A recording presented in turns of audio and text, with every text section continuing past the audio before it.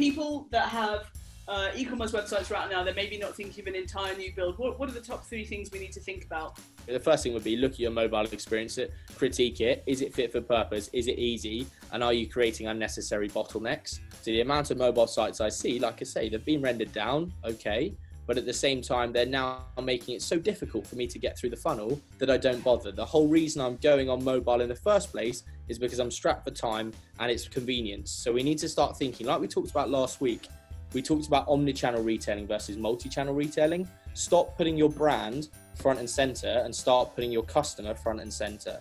So it's not about, oh, do I find it as Nathan and my business? Do I find it nice and easy to use it? No, does your customer find it nice and easy to be able to purchase a product on the platform that's convenient to them?